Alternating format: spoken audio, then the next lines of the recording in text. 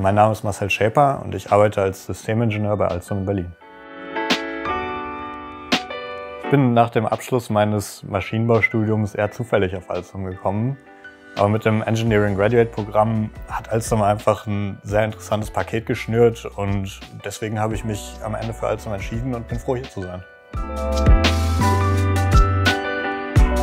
Alstom arbeitet daran, durch Digitalisierung ein leistungsfähiges Bahnsystem zu schaffen. Mir wurde das Angebot gemacht, direkt mit den Experten vor Ort in Frankreich und in Belgien zu lernen, wie das Engineering dahinter funktioniert. Das hat für mich interessant geklungen und deswegen habe ich mich bei Alstom beworben.